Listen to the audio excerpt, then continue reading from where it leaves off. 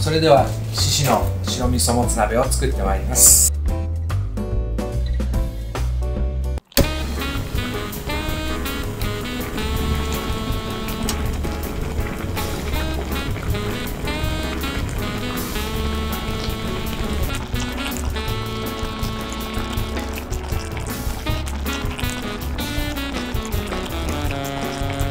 火加減はこぼれに注意しながら。できるだけ中火を保ちじっくり火を通して野菜ともつのうまみを引き出すことが大事です。